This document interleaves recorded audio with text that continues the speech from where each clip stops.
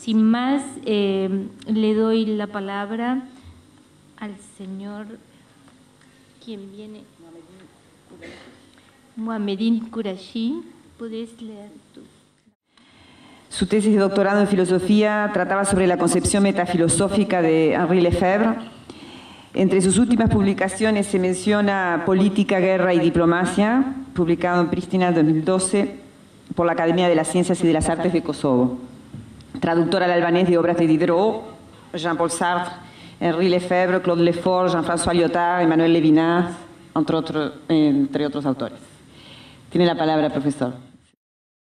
Parallèlement avec le processus de la décomposition des fédérations multinationales, la Yougoslavie, l'URSS et la Tchécoslovaquie, se renforce le processus de l'intégration des nouveaux États-nations dans les structures supranationales de l'Union européenne, mais également dans diverses structures régionales, en Europe centrale ou en Europe du Sud-Est. Paralelamente, conjuntamente con el proceso de descomposición de las federaciones multinacionales, el caso de Yugoslavia, la ex Unión Soviética y Checoslovaquia, se refuerza el proceso de integración de nuevos estados-nación en las estructuras supranacionales, supranacionales de la Unión Europea, pero también en diversas estructuras, estructuras regionales en Europa Central y en la Europa del sureste. Ces deux grands processus ont présenté des défis réciproques, surtout dans les périodes critiques des guerres et des nettoyages ethniques en Croatie, en Bosnie-Herzégovine et au Kosovo. Estos dos grandes procesos presentaron, colocaron desafíos, desafíos recíprocos, eh, sobre todo en los periodos críticos de las guerras y de lo que se ha llamado el, eh, la limpieza étnica en Croacia, Bosnie-Herzégovina y en el Kosovo. Kosovo. Les fragiles structures politiques de l'Union européenne devaient pour la première fois depuis sa fondation affronter des événements extrêmement dramatiques et montrer leur capacité à gérer des formes de conflits très complexes. Las frágiles estructuras políticas de la Unión Europea eh, estuvieron enfrentados por primera vez desde la fundación de la Unión eh, afrontar eh, acontecimientos y gestionar eh, acontecimientos extraordinariamente dramáticos y mostrar su capacidad a gestionar formas y, de conflictos muy complejos. Il y aura plusieurs interprétations des causes de ces conflits.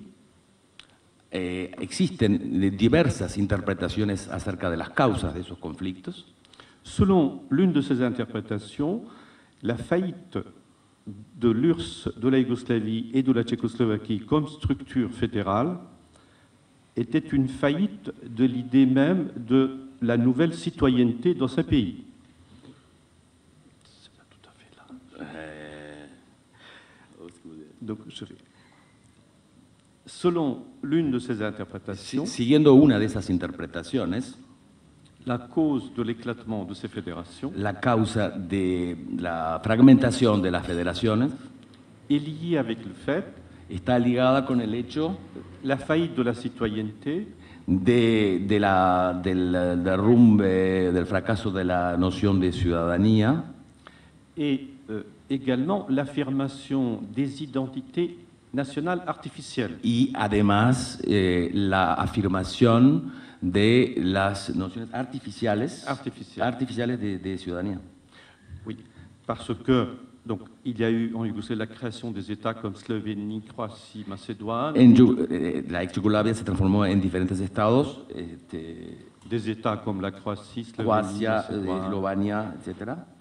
Et cela a été expliqué par le fait que ce seraient des identités artificielles qui ont fait éclater une identité naturelle yougoslave. Ah, y esas, eh, esta explicación eh, es decir, apunta a, a, a, decir que eran en realidad este, eh, unas creaciones artificiales para explicar por qué eh, se, se, derrumbó eh, la, la, primera Yugoslavia. Sans pouvoir entrer dans les détails, sin entrar en los detalles, euh, je crois que cette explication est un petit peu courte dans ce sens où ces identités ont un passé historique. Esas explicaciones son un poco cortas. Et que par contre, l'identité yougoslave ou celle soviétique, disons, a pu, a essayé de se développer dans un laps de temps historique plus court. La reprenons donc. Euh, donc, l'identité yougoslave ou soviétique, la identité yugoslava soviética. Yougoslave ou soviétique, o soviética a pu se développer dans un laps de temps historique plus court, se desarrolló en un lapso histórico más corto et c'est la raison pour laquelle il est, il est difficile d'en parler de quelque chose de naturel qui va de soi, etc. Por eso es que es imposible de hablar de que eso sea un hecho natural, de que haya una noción natural, una pertenencia natural.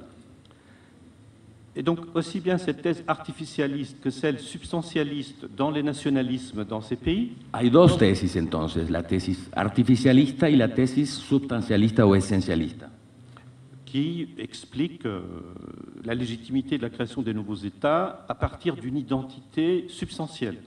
que explica la creación de los nuevos estados a partir de, eh, de nociones sustanciales, de una identidad sustancial. D'autant moins cette deuxième hypothèse peut tenir. Esta hipótesis parece un poco más seria.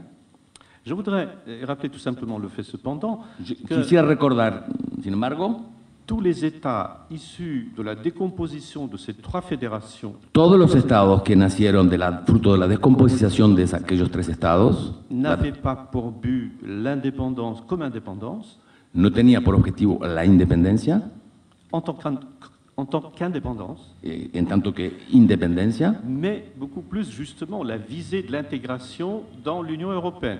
pero principalmente apuntaba a integrarse a la Unión Europea.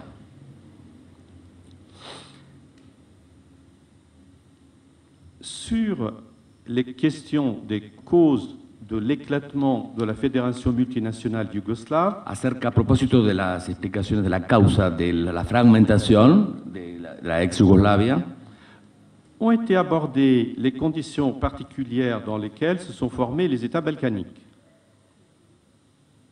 eh, em, esos análisis que intentaron explicar eh, la- las causas de la fragmentación de la Federación Multinacional Yugoslava, eh, abordaron particularmente el tema de las condiciones particulares eh, a través de las cuales se formaron los estados balcánicos. Cette question implique celle de la formation des nations. Es una pregunta que toca a, a la, a la- a la cuestión de saber cómo se forman las naciones, les traits particuliers de représentation et conception de la nation, los rasgos particulares de las representaciones y concepciones de la nación, le rapport entre les majorités et les minorités nationales, la relación entre las mayorías y las minorías nacionales en los estados multinacionales. Sur ces questions se greffe le problème et les débats des identités nationales et ethniques de leur, et leur relation à l'intérieur d'un État pluriethnique ou entre les États voisins. Eh, a propósito de estas cuestiones, de estas este, nociones, eh, se agrega el problema de las identidades nacionales y étnicas y sus relaciones y su modo de institución en el poder, en el poder político. De fait, les États actuels de l'Europe du Sud-Est ont pris naissance au début du XXe siècle à la suite de l'écroulement des deux grands empires, l'empire austro-hongrois et celui ottoman. De hecho, los estados, los estados actuales de la Europa del sureste eh, nacieron eh, al comienzo del siglo XX, luego del derrumbe de dos grandes imperios, el imperio austrohúngaro y el imperio otomano. Les mouvements nationaux des peuples balkaniques, au XIXe siècle déjà, pressentant l'écroulement des empires, élaborent des idéologies nationales à partir des critères de la langue, de la culture et de la mémoire historique, d'une part. Los movimientos nacionales de los pueblos balcánicos, en el siglo XIX, entonces ya en el siglo XIX, presintiendo o anticipando el derrumbe de los imperios, elaboraron ideologías nacionales partiendo de criterios como la lengua, la cultura y la memoria histórica, por un lado, Et d'autre part, ils font référence au modèle français de l'État-nation et aux idées de la Révolution française. y por otro lado se refieren al modelo francés del Estado-Nación y a las ideas de la Revolución Francesa. La nation, selon cette idée mixte, à la différence de l'expérience politique de l'Europe occidentale, la nación, según esta idea mixta, a la diferencia de la experiencia política de eh, la Europa occidental, precede la constitución de los estados balcánicos.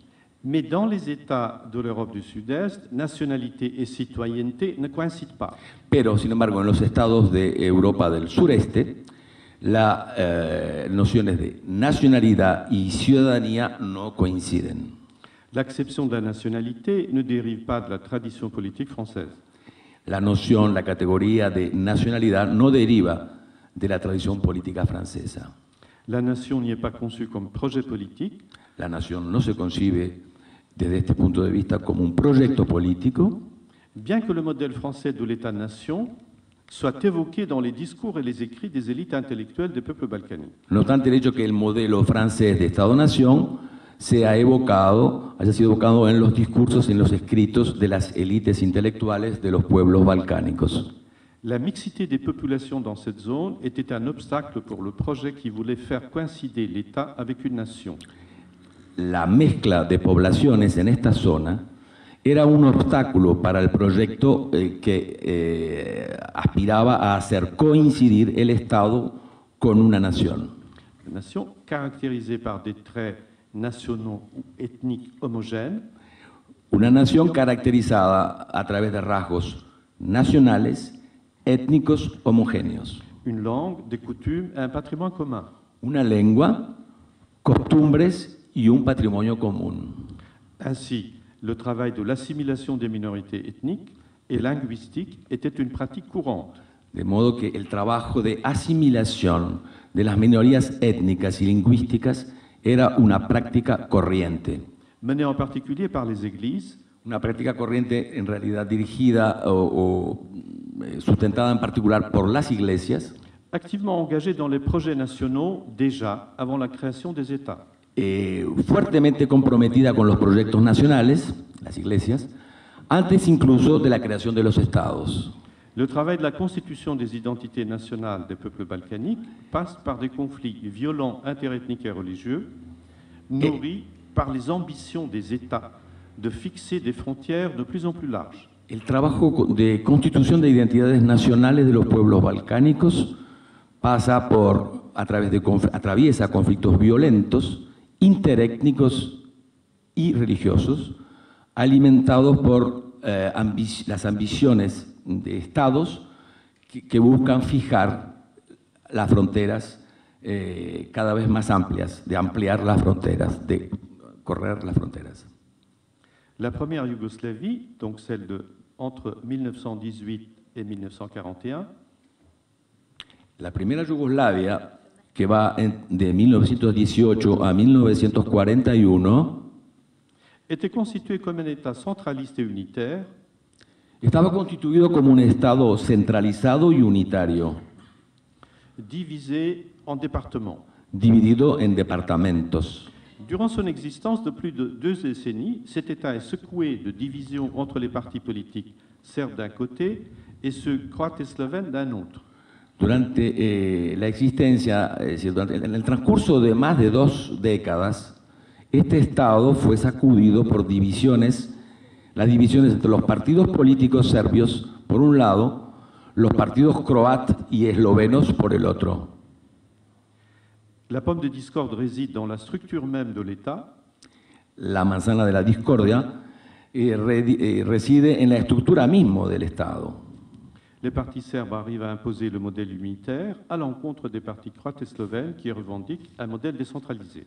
Los partidos serbios eh, logran imponer un modelo, el modelo unitario, eh, a- a- en oposición a los partidos croat y eslovenos que reivindican un modelo descentralizado.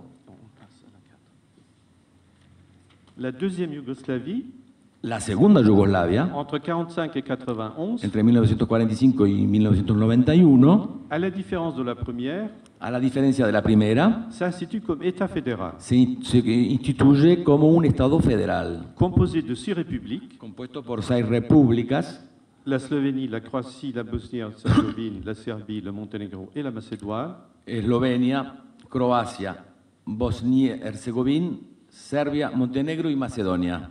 et deux provinces avec un statut fédéral, le Kosovo et la Voïvodine. Y dos provincias ah, con un estatuto autónomo federal, el Kosovo y la Voivodina. La Constitution de 1946 garantit l'égalité des peuples, leur développement culturel et économique, octroie un statut aux minorités et stipule le droit de l'usage de la langue des minorités dans certaines institutions publiques. La Constitución de 1946 garantiza la igualdad, la entre los pueblos, el desarrollo cultural y económico, eh, otorga además un estatuto a las minorías, estipula el derecho de uso, de utilización de las lenguas de las minorías y en ciertas instituciones, en ciertas instituciones públicas. Alors, je dois euh, résumer, euh, vu les minutes donc, qui me restent. Debo resumir de, una vez más. résumer.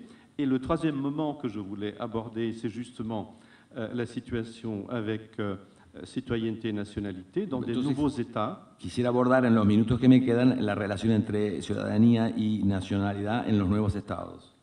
Donc des- euh, les États qui ont été créés euh, et proclamés indépendants depuis quatre- entre 91, depuis la Slovénie, et 2008, le Kosovo. Entre, eh, en el periodo que va de, con la, la creación de la Eslovenia en el 91 hasta eh, el Kosovo en eh, Kosovo, La Slovénie d'abord, La Slovénie. 91, et le dernier, le Kosovo, le Kosovo en qué année euh, 2008. 2008, 2008.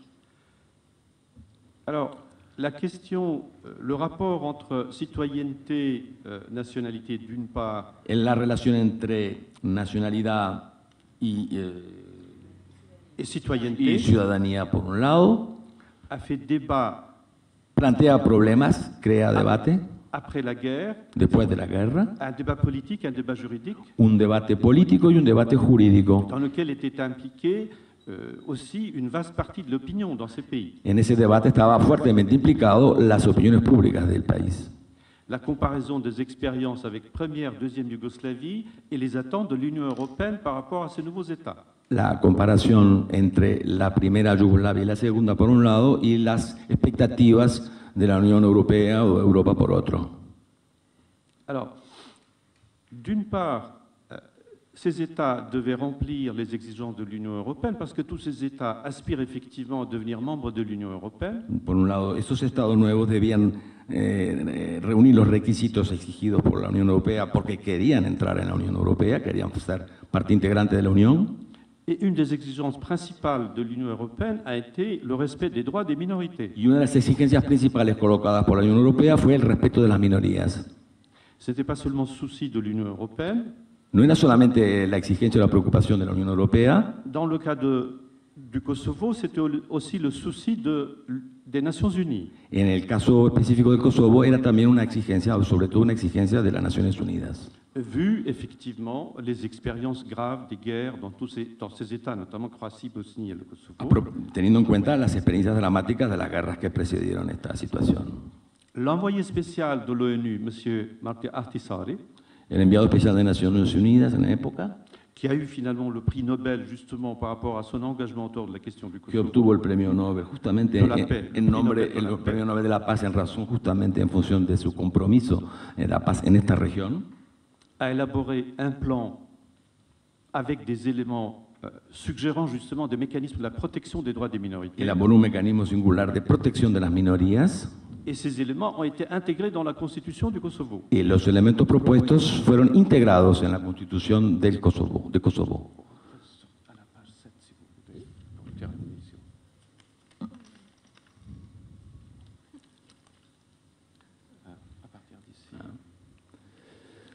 Alors, dans cette constitution, En esta constitución, la République du Kosovo est définie comme État démocratique et laïque, la República de Kosovo, es defi- de Kosovo está definida, es definida como un Estado democrático, laïque laico et, mais également comme société multiethnique. y además como una sociedad multiétnica. La Constitution reconnaît comme langue officielle l'albanais et le serbe, La Constitución reconoce eh, la- como lenguas oficiales el albanés y el serbio. Mais d'autres langues aussi, comme le turc, le bosniaque, le rom. Pero, sont- sí, perdón. Pero también otras lenguas, el, tur- la lengua- el turco, el bosníaco y el rom, de los rom. sont aussi reconnus au niveau des communes habitées par ces minorités. Y también son reconocidos a nivel comunal, eh, habitados por esas minorías. Cette constitution essaie d'établir un équilibre entre l'affirmation du principe de citoyenneté et celui de la multiethnicité. Esta constitución intenta establecer un equilibrio entre, por un lado, la afirmación del principio de ciudadanía y, por otro, el de la multietnicidad. Cependant, le Parlement du Kosovo a été obligé d'adopter les lignes directrices du plan Artisari qui a mis l'accent beaucoup plus sur les principes et les normes de la multiethnicité que sur ceux de la citoyenneté. Sin embargo, el Parlamento de Kosovo estuvo obligado, se sintió obligado a adoptar las líneas directrices del plan ONU de Aitasari, que colocó el acento mucho más en los principios y las normas de la multietnicidad que en los de la ciudadanía. Ce plan représente un compromis entre les revendications de la Serbie et celles des Albanais du Kosovo. Este plan representa un compromiso entre las reivindicaciones de, la Ser- de- de Serbia y las reivindicaciones de los albaneses del Kosovo. Ainsi, le volet de la décentralisation a accordé le droit à l'autogestion de la communauté serbe, Por ejemplo, el aspecto, eh, el capítulo de, de la descentralización acordó el derecho a la autogestión de la comunidad serbia, qui présente un peu plus de 5% de population, que representa un poquito más que 5% de la población sobre 25% del territorio del Kosovo. Dans le système, et cette autogestion concerne le système judiciaire, la police, l'enseignement, la santé, la culture. Esta autogestión concierne la policía, la justicia y otros servicios. Ainsi, la société politique et les institutions du Kosovo devront rechercher un équilibre entre la dimension de la citoyenneté, les intérêts communs des citoyens et les droits légitimes politiques et culturels des minorités, notamment la, la minorité serbe. De tal modo que la sociedad política y las instituciones de Kosovo van a tener que buscar un equilibrio entre la dimensión de la ciudadanía, los intereses comunes de los, de los ciudadanos perdón, y los derechos legítimos políticos y culturales de las comunidades étnicas. Au Parlement national, mais aussi aux municipalités, il y a une présence importante des représentants des minorités. Il y a 10 sièges qui sont garantis par la Constitution aux minorités au Parlement national. On va reprendre un petit peu tout ça. Donc, au Parlement national, En el 10 Parlamento sièges, Nacional hay 10 eh, escaños, 10 sièges sont garantis pour les représentants des minorités. 10 qui font escaños, 10% de population. 10, gara- 10 escaños eh, reservados para las minorías. Il faut également le dire, et ceci n'est pas garanti par la Constitution, Hay que decir algo que no está garantizado por la Constitución, plus de 30% des députés sont des femmes. más de 30% de los diputados son mujeres. L'usage de la langue, euh, donc les députés des minorités utilisent leur langue au Parlement national, dans les médias et dans les institutions dans lesquelles ils travaillent. Los diputados de las minorías hablan en su propia lengua en todos los medios, en el Parlamento y también en los medios de comunicación. Et euh, vous imaginez que ce n'est pas très simple, mais ce n'est pas aussi euh, très compliqué, et c'est à des pratiques politiques, c'est à la volonté politique après, qu'il reste à gérer, si vous voulez, ces problèmes entre citoyenneté et multiethnicité. Todo Et esto no es là. ni muy simple, pero tampoco muy complicado para entender. ¿Y cómo termina? ¿Cómo on va finir la chute? C'est par une volonté politique, par des pratiques politiques qu'on peut gérer, euh, si vous voulez, cette- cette- Y- ces problèmes entre citoyenneté Y entonces el fondo de la cuestión es el tema de la voluntad política para gestionar estas tensiones y estos equilibrios. Voilà, merci de votre attention.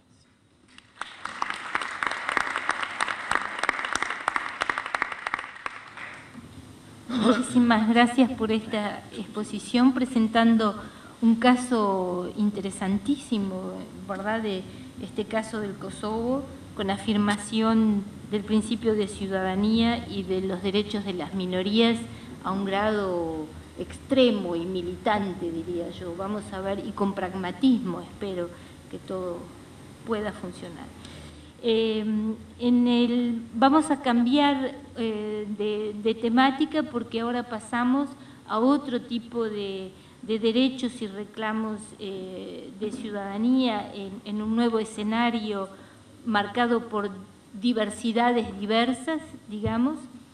Eh, y vamos a darle la palabra a, Mercedes Martín, que es psicóloga, eh, se desempeña como asesora en políticas sociales en el Ministerio de Desarrollo Social del Uruguay, en el MIDES, y es directora, ha promovido el Festival Internacional de Cine de la Diversidad Sexual que se llama Yamaleache, que tiene ya este año cumplió la sexta edición, ¿verdad? Ese festival de cine que marca realmente una ruptura también de la diversidad y también en el plano artístico, que era algo que estaba previsto en la mesa, la parte artística.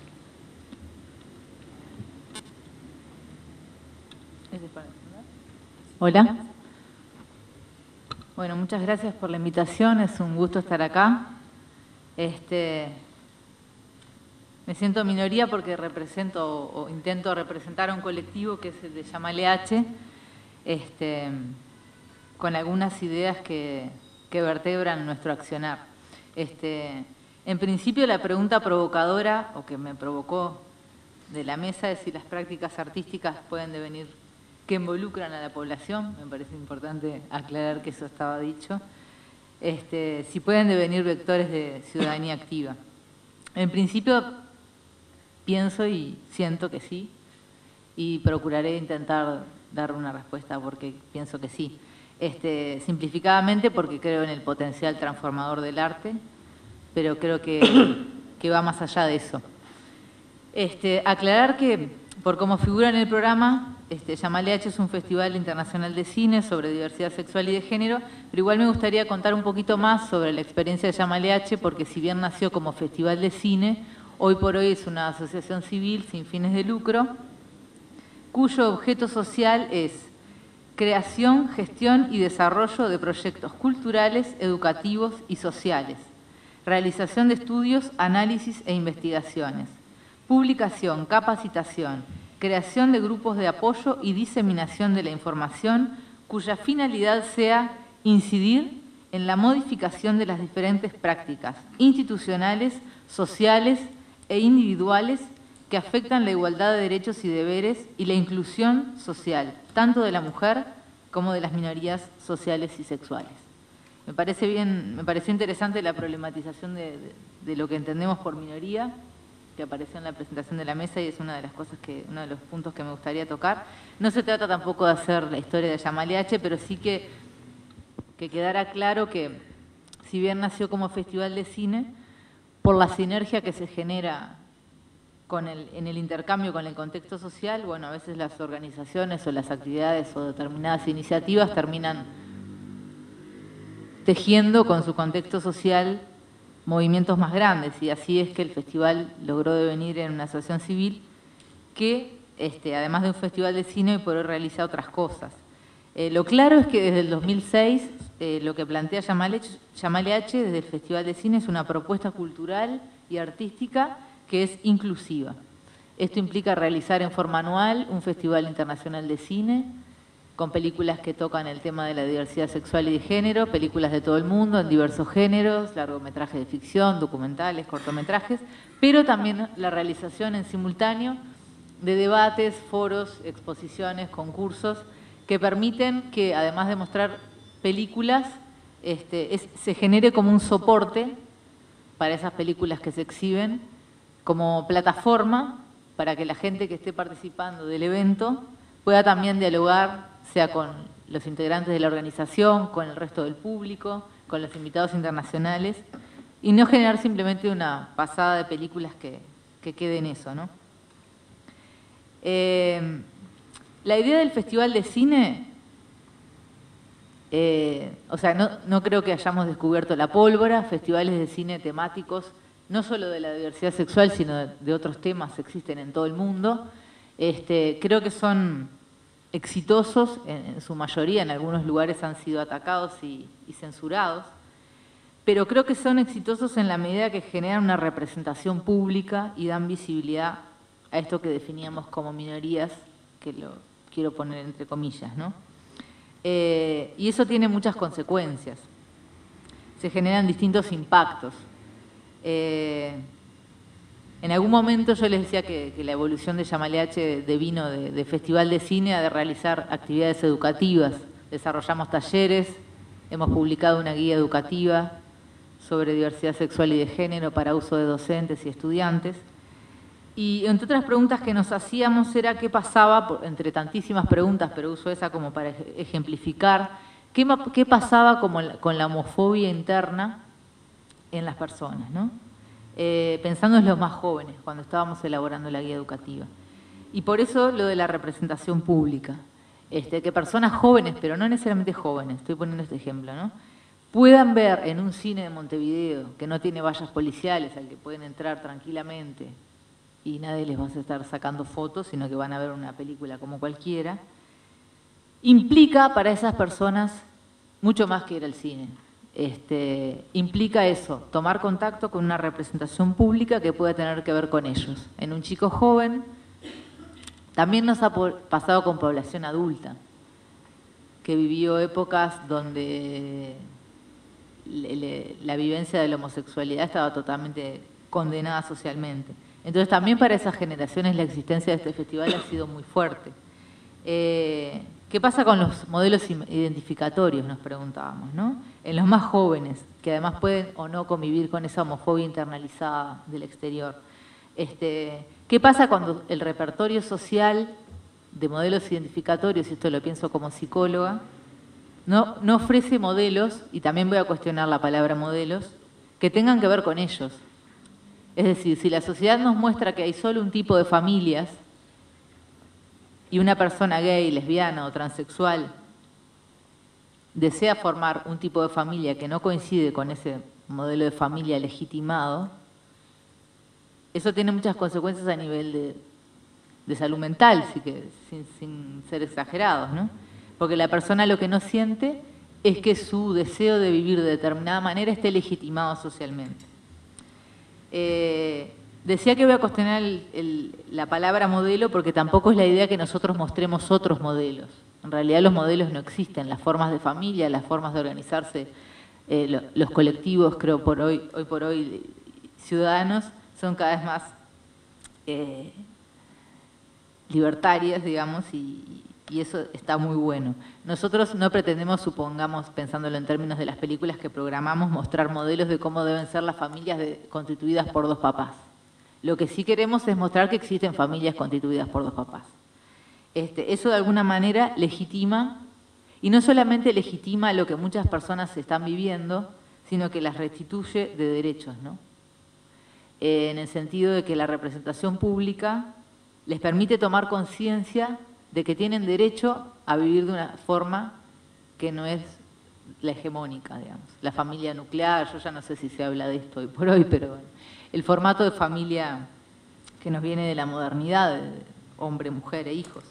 Y restituir derechos tiene, para mi gusto, eh, un impacto político muy importante, porque en una sociedad democrática eh, por eso el tema interesante de cuestionar lo que es minoría. Eh, la restitución de derechos que puede parecer para algunos pocos, en, una sociedad democrática en realidad es una restitución de derechos para todos.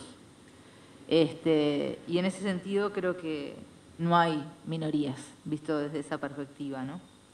Este, pero bueno, eso también tiene que ver con cosas que se hablaban en las mesas anteriores, ¿no? Cómo castigar la indiferencia.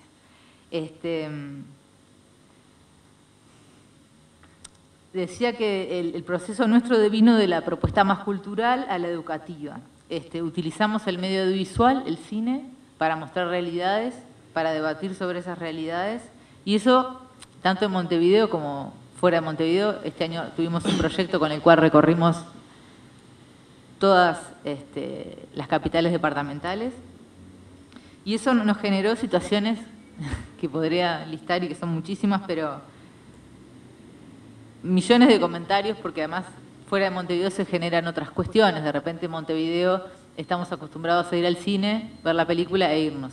Este, en otros departamentos donde de repente este tipo de, iniciativas que plantean temas que todavía son como alternativos o son tabú, este, a veces propician que los que se acercan quieran dialogar y planteen preguntas y digan cosas como esta película me cambió la perspectiva de muchas cosas. Este, y eso, eso es un poco lo que nosotros, lo que nosotros buscamos. ¿no?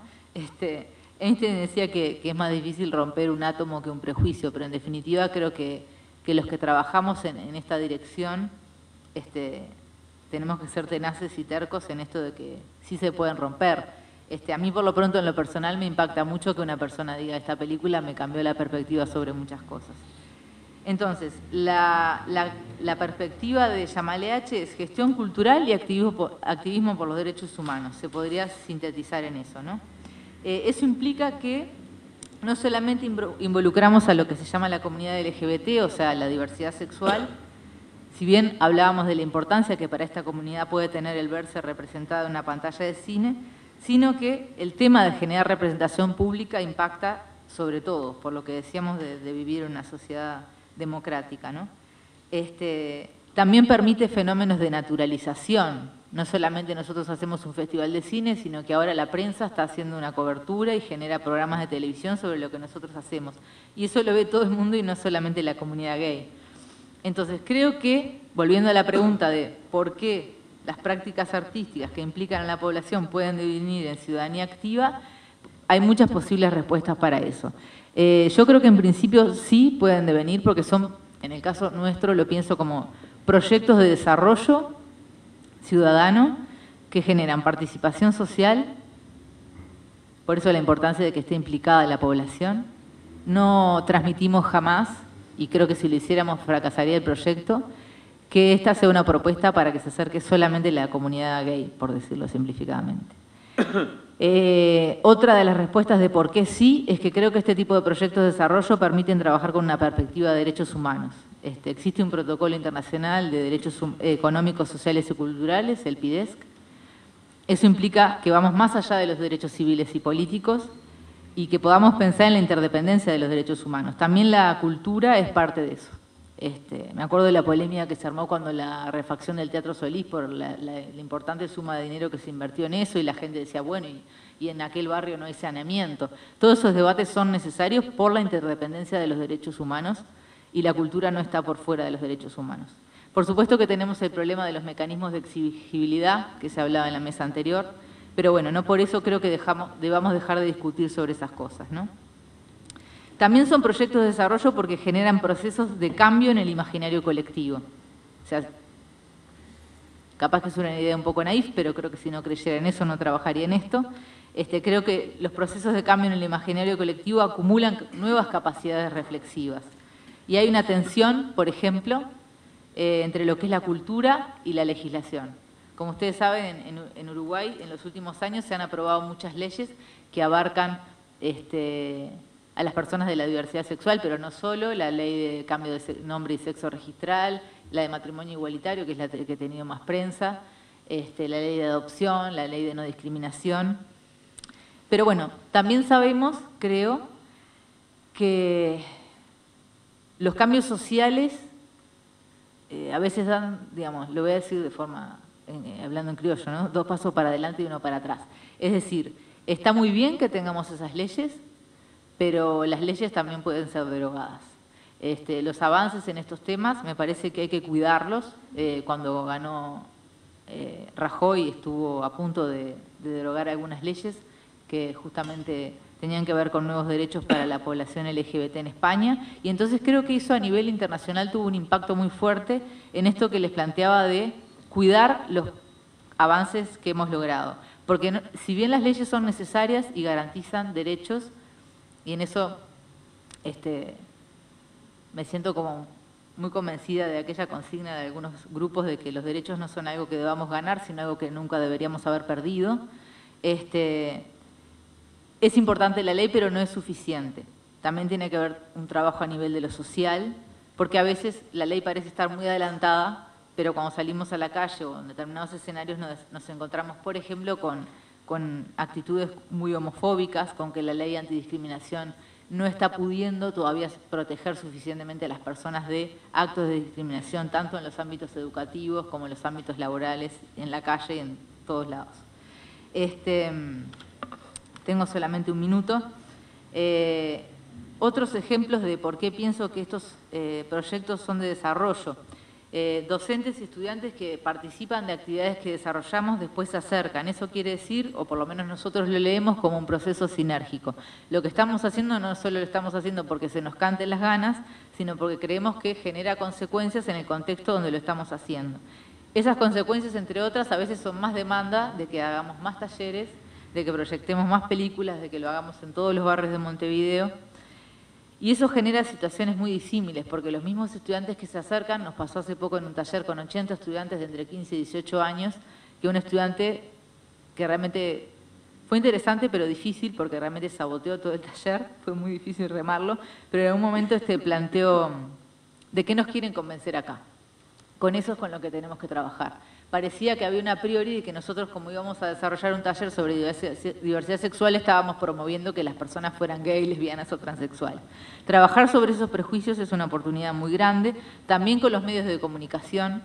Este, cuando empezó este festival nos preguntaban si era un festival de pornografía, lo cual no voy a emitir mi opinión sobre el género pornográfico porque es un género, pero bueno, estaba la priori de que como tenía que ver con la diversidad sexual, el material iba a ser pornográfico. También los medios de comunicación han hecho una evolución. Este, hace un tiempo en una nota para televisión, eh, la entrevistadora, nosotros siempre cuando tenemos notas, lo que hacemos es hablar del Festival de Cine, de las películas que se van a promover, pero bueno, en un momento la entrevistadora quiso saber sobre mi vida, ¿no? presumiendo que yo era homosexual. Entonces, bueno, en primer lugar, descentrar la atención de eso, porque no nos interesa hablar de las personas que hacemos el festival, pero también tomar conciencia de que haberle respondido hubiera sido confirmarle lo que nosotros definimos como este, una sociedad eh, estructurada de manera heteronormativa. Se presume que todos somos heterosexuales. Entonces, seguramente lo que le pasaba a esta periodista era que pensaba que porque yo estaba, digamos, liderando un proceso que involucra la diversidad sexual, yo tenía que ser homosexual. Este, por otro lado, parte de esa evolución que les decía con los medios de comunicación, este, también ha llevado gratamente a que por suerte ya no sea el tema del festival lo que concite la atención, sino las películas, los contenidos que nosotros transmitimos y la calidad que puedan tener o no, porque eso es lo que puede dar sostenibilidad a un proyecto que se plantea como, cultural. Este, me quedaron como varias cosas, pero capaz que se pueden hablar después. Este, me interesa reafirmar esto de que los cambios en la legislación pueden habernos generado una, no sé si una fantasía, porque es parte de nuestros deseos, y, lo digo como ciudadana, no, no por mi orientación sexual ni de mi identidad de género, pero un deseo, hasta se está promoviendo nuestro país como un modelo o, un país de vanguardia, y está bien, capaz que en comparación con otros países de América Latina estamos muy bien. Pero también este, ser conscientes de que eso no es reflejo de que la cultura, de que nuestra cultura, de que nuestra sociedad realmente esté preparada, supongamos a nivel educativo hay docentes que se resisten a hablar sobre diversidad sexual, un docente de historia no se cuestiona si va a dar la Revolución Francesa cuando lo tiene en el programa, pero a veces un docente de, educación sexual omite tratar el tema de la, diversidad sexual. Entonces, ser consciente de esto, ¿no? de que la legislación eh, es un avance, pero también este, hay que cuidarla. Y me acuerdo de un chiste, para terminar, cuando se aprobó el matrimonio igualitario en Argentina, un poco antes que en Uruguay, este, rápidamente salió un chiste que circulaba de, un cura con un cartelito, y esto no es nada contra la Iglesia Católica, porque sé que hay dentro de la Iglesia muy distintas perspectivas sobre este tema, pero este, el cartelito decía, bueno, una vez aprobado el matrimonio gay, este, no al divorcio gay. Gracias.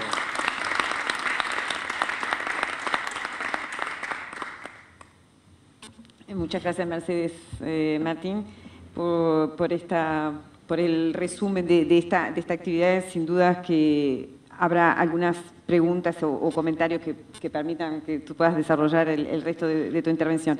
Vamos a darle la palabra al señor Romero eh, Jorge Rodríguez, embajador itinerante de la República del Uruguay para la inclusión de la temática étnico-racial en la Agenda Internacional para América Latina y el Caribe encargado de la estrategia de relacionamiento internacional con los países de, África subsahariana y la diáspora, director, entre otras cosas, de la Unidad Étnico-Racial del Ministerio de Relaciones Exteriores de Uruguay. Yo me voy a detener aquí. Su currículum es este, bastante largo y rico. Eh, usted es especialista en políticas públicas eh, respecto al tema de las poblaciones afrodescendientes y el combate al racismo, director de organizaciones eh, que trabajan como por ejemplo Mundo Afro. En fin, le damos la palabra para que nos cuente un poco su trabajo.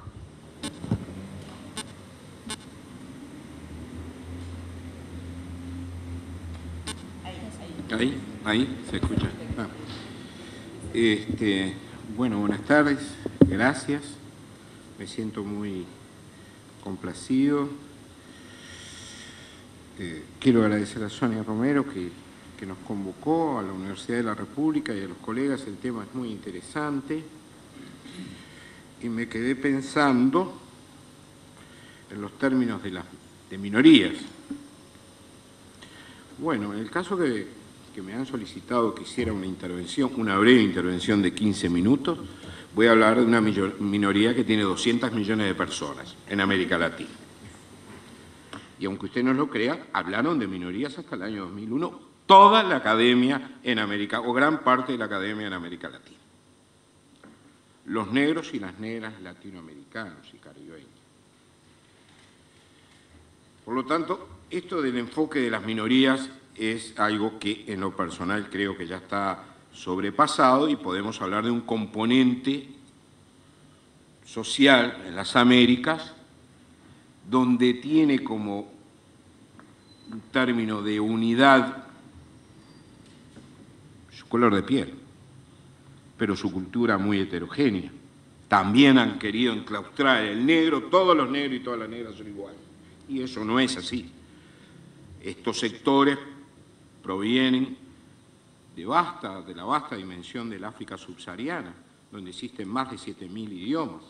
Solo el Congo, vengo hoy de una reunión con la gente del Congo, 382 idiomas, una diversidad riquísima. Y esa diversidad la trajeron los esclavos africanos que trajeron a estas Américas. Y ahí comencé a mirar los papeles, los documentos que Sonia y su equipo eh, muy gentilmente me entregó, y comencé a mirar las diferentes mesas, temas, y lamento no poder haber estado en algunas, pero algunas me, producían algunas preguntas. Y, me enfoqué en una, en la mesa 2, nuevos enfoques de los procesos ciudadanos y aportes a las políticas públicas de la construcción de ciudadanía y, me comencé a preguntar para poder tener este conversatorio con ustedes, ya que esto se enfocaba por el lado de las minorías, 200 millones, las identidades, hay una variedad heterogénea de identidades en las Américas y en el Caribe, y las creaciones ciudadanas, de lo que se sabe, de lo que está patentizado, es de nuestro folclore, es de nuestra arte, que estamos muy orgullosos, negras y negros, en dar estos aportes, pero hay otros aportes, hay otros aportes y el aporte en la construcción de políticas públicas a partir de una mirada étnico-racial. Sé que se estudia muy poco, recién en el año 2000 logramos, se logró el movimiento negro de las Américas, logró un avance importante a través de algunas conferencias. Y guiándome en el programa, me hice algunas preguntas que me gustaría tirarlos en la mesa, ¿Cómo se traduce, hay una pregunta, cómo se traduce la ciudadanía en las prácticas de los individuos y de los grupos sociales para producir efectos en la vida social? Y me lo pregunté. Y bueno, las prácticas en las poblaciones afrodescendientes o negras están basadas en la internalización de la exclusión histórica. Esa es una realidad. Varios intelectuales han escrito y académicos han escrito sobre eso. Estamos hablando de 200 millones de personas, 62% bajo la línea de pobreza. No llega a 4% los académicos y universitarios negros en general o en promedio en América Latina. Estamos hablando de una población que yo creo que el statu quo de las Américas no conoce. Estamos intentando. Hay académicos muy prestigiosos que están generando. Por lo tanto, la validez de las políticas públicas es el primer interrogante de dónde vienen, si son efectivas en las poblaciones negras. Es una pregunta que nos tendremos que hacer. Si esas políticas que concebimos, con una gran concentración de una mirada eurocéntrica en estos nuevos estados-nación de América Latina, son correctas para las poblaciones afrodescendientes. Si en esa mirada también no hay una cuestión de subalternización. Segundo tema, entender que estas poblaciones son las herederas, son los herederos de aquellos africanos esclavizados.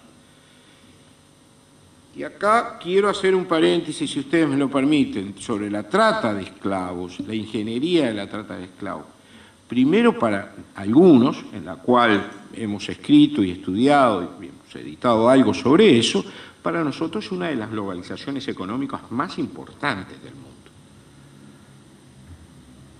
Porque en ese proceso de esa ingeniería perversa se construye lo que conocemos como el capitalismo moderno. Esa fase de la mercantilización. Estamos hablando de que la trata de esclavos es la construcción de este racismo estructural que tienen las Américas. Por cuatro razones. Primero, fue global. Segundo, todos los países de la época estaban involucrados en ellas, de una forma u otra. Fundamentalmente, los países que hoy llamamos desarrollados y que son hegemónicos en la economía mundial. Segundo, fue legal, nadie cometía un delito, podía secuestrar poblaciones, hombres y mujeres, a las costas africanas. Que dicho sea de paso, si hay algún historiador, siempre me preguntan en alguna clase que podemos dar, dice, ¿por qué fueron a África y no fueron a otro lugar? Digo, porque era mucho más barato el cruce del Atlántico, y eso hay que decirlo claramente. El tercero, fue racial. Se ubicó en una parte del mundo con características fenotípicas concretas, el África subsahariana. Y cuarto, su extensión hace de su estructuración que dura hasta nuestros días. Por lo tanto, esos 200 millones de afrodescendientes, negras y negros, y su 60 y pico por ciento de la línea de la pobreza, por debajo de la línea de pobreza, es producto de esa estructuración que se ha hecho a lo largo del siglo en América Latina.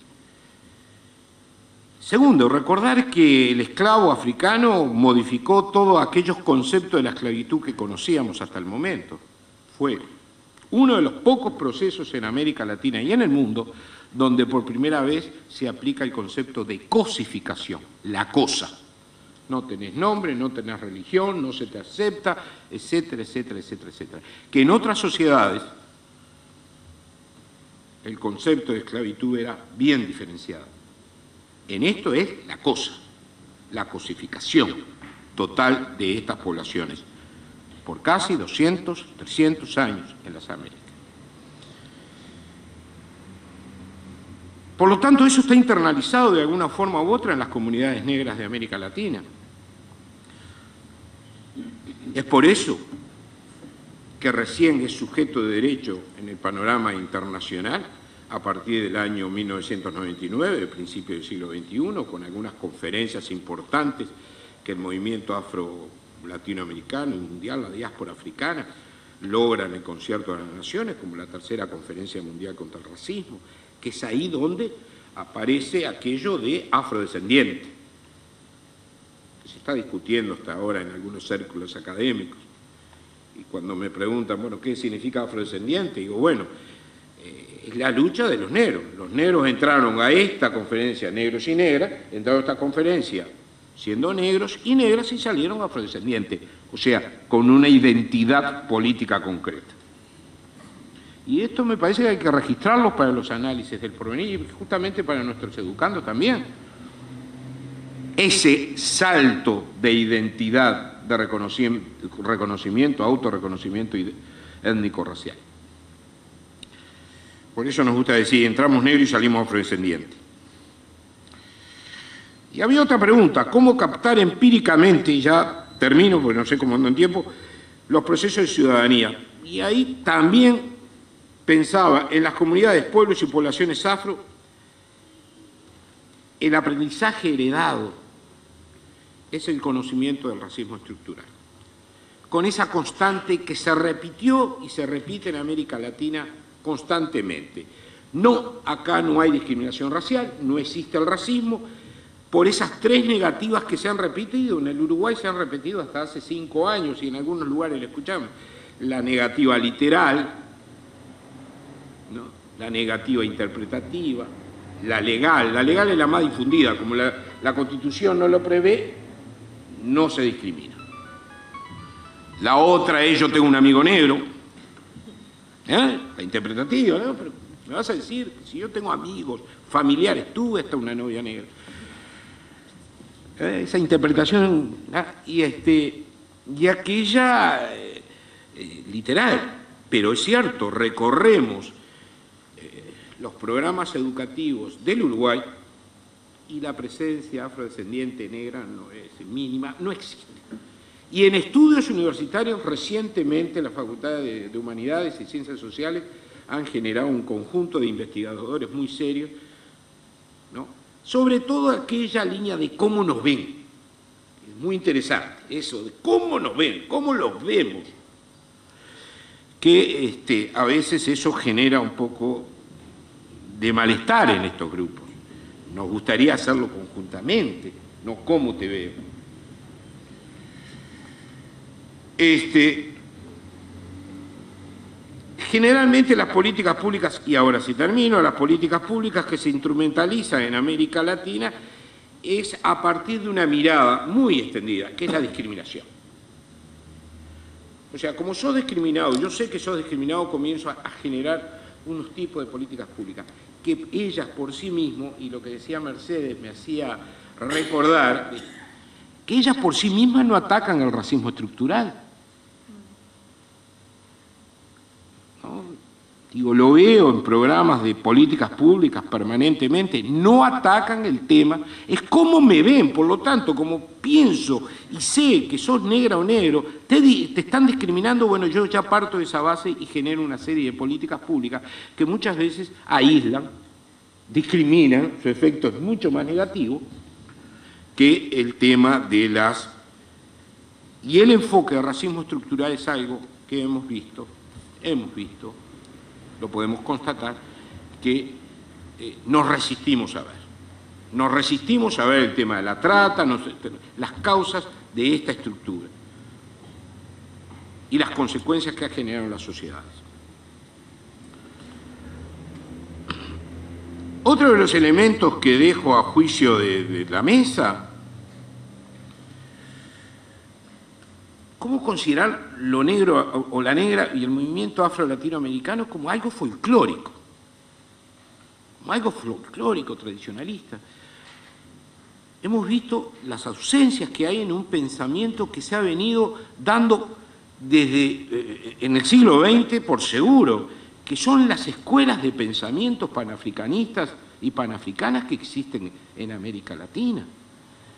Estos movimientos no solamente generaron rebeldía, resistencia, movilización social, porque eh, estaban apretados contra la pared. La inteligencia afrodescendiente, negra, existe. Desde Dubois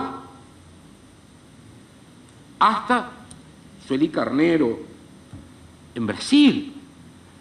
Munirnos de esa inteligencia negra que ha aparecido en tiempo y en tiempo, digo, estoy hablando de los últimos 10 años, interesantes ensayos, interesantes planteos, propuestas.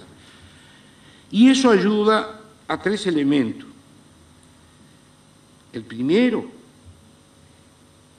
que estos ensayos profundizan y exigen la democracia participativa, romper cualquier tipo de gueto, confluyen en varias, en el análisis de las contradicciones sociales, no solo la de clases, la diversidad sexual, lo ha planteado claramente Mercedes, las ambientales, las raciales, las de clase. Esas son realidades para conformar una política pública. No se puede conformar una política desde una sola óptica. Cuando se entra a conformar de una sola óptica, eh, terminamos como en algunos países que recién reconocieron estos temas, por más progresista que se llamara, 40 años después. Y acá el aporte de las miradas en función de los conceptos étnicos raciales han sido muy importantes en los últimos por lo menos 10 años. ¿Y esto se ve en dónde? Se hace la pregunta acá, ¿es a nivel urbano? Yo no sé si es a nivel urbano, pero los enfoques que han salido en los territorios, en esos 8.524 territorios negros en las Américas, cumbes, palenques, quilombos, poblaciones rurales, fundamentalmente en la costa pacífica en la costa atlántica, han generado un proceso de participación comunitario que eh, transmite una esperanza muy interesante para la construcción y la profundización de las democracias. Y este principio ya ha comenzado. En los últimos 10 años, siete países de América Latina se han reconocido en sus cartas magnas, en sus constituciones, pluriculturales y multiétnicos. Y estamos algunos opinando de que cómo nos vemos culturalmente los uruguayos. Estamos convencidos que somos un país multicultural, pero tenemos que hacer mucho esfuerzo para que la sociedad lo diga, no los negros y las negras, la sociedad lo diga. Estamos convencidos que las constituciones, como carta magna de nuestros países, necesita eh, un autorreconocimiento, no los negros y las negras, la sociedad en su conjunto. En el caso de Uruguay, ¿somos o no somos un país multicultural? Es una pregunta. ¿Somos multiversos, sí o no? Yo creo que esos son los grandes desafíos que tenemos en a principios del siglo XXI. Por este, este tipo de coloquios que no se dan tantos en la academia, que se permita hablar con esta diversidad que ha encarado el programa. Eh, yo quiero nuevamente agradecerles, pido disculpas realmente por no haber podido participar en otras mesas, escuché algo de la, de la anterior, y me parece sumamente interesante y dejo como pregunta, bueno, ¿qué sociedad, si reconocemos o no reconocemos esta fase multiétnica o de las desigualdades étnicos raciales en América Latina y a partir de eso poder construir o profundizar nuestra democracia?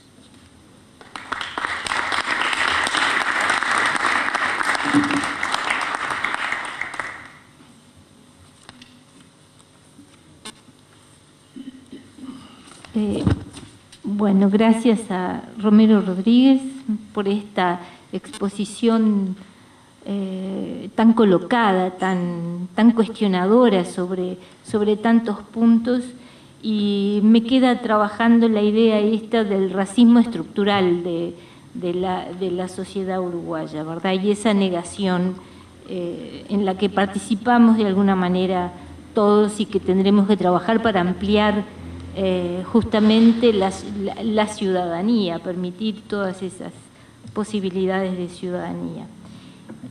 Bueno, entonces gracias nuevamente y ahora le damos la palabra a Pamela Soto García, que es doctora en filosofía del Instituto de Filosofía de la Pontificia Universidad Católica de Valparaíso. También tiene mucho currículum, pero me parece que basta con eso y agradecerle que haya venido desde, desde, Chile a, participar en este coloquio, porque también es interesante la participación de gentes de distintas, de distintas latitudes, digamos, de, de distintos países también de la región.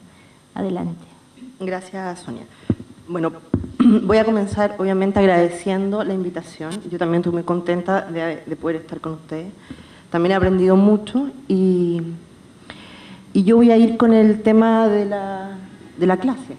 Ya hablamos de género, hablamos de etnia, voy a ir con el, con el problema de clase, pero básicamente yo traje un texto que está pensado a partir de un proyecto de investigación donde una doctora en educación y una doctora en sociología eh, me invitaron a participar eh, desde la filosofía política para, trabajar con jóvenes de 12, 15 años y el, título que yo tengo es específicamente la conclusión a la que eh, voy a, los voy a llevar, que es donde está mi investigación hoy.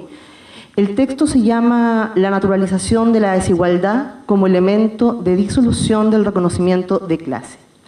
El proyecto en el que yo fui invitada a participar eh, se llama El sentido de lo común como experiencia de construcción democrática en estudio de caso en escuelas de enseñanza básica en contextos de pobreza. En este proyecto se discute cómo los jóvenes entre los 12 y 15 años en la sociedad chilena actual vivencian la experiencia democrática y el sentido de lo común en contextos de pobreza, considerando que este sentido de lo común corresponde a su vivencia ciudadana. Eh, ¿Qué es relevante? Ha habido varias modificaciones en las políticas públicas en Chile eh, en relación con los jóvenes. Por ejemplo, este grupo etario es un grupo que eh, no puede votar, pero sí puede ser criminalizado y encarcelado. Y ¿Qué, es relevante de eso? Eso ha generado que existan hoy eh, manuales de convivencia escolar donde hay instructivos claros en la mayoría de las escuelas, eh, especialmente la municipalizada, donde hay en acciones que intervienen los inspectores y hay en acciones que interviene la policía. Entonces, eso, eso es bien, bien, bien fuerte, como a mí parece como realidad. Bueno, el itinerario analítico teórico se estructuró abordando en primer lugar el contexto social e histórico en el que se sitúa la escuela y las teorías que implican su relación con la experiencia democrática, perdón, y vivencia de ciudadanía, desde epistemologías que surgen desde la particularidad de cada uno de sus espacios. ¿Cuáles eran nuestros supuestos teóricos? Que hay varios de estos que terminaron derribados. Desde la posmodernidad, también denominada por Giddens, tardía modernidad, Beck, segunda modernidad o líquida modernidad por Bauman, transita hacia una tendencia fenoménica que pone su acento en la diferencia, construyendo espacios cívicos con desafíos y exigencias complejas para nuestra vida en común. Proceso que ratifica el desafío y la trascendencia del centro escolar como espacio de aprendizaje y vivencia de lo político. Estos conceptos y teorías que intentan explicar nuestro contexto histórico desarrollan un profundo análisis sociológico y antropológico, caracterizando el cambio epocal, entre otros, como una nebulosa de sentido ante las grandes transformaciones política económica, educativo-sociales, epistemológico-científicas.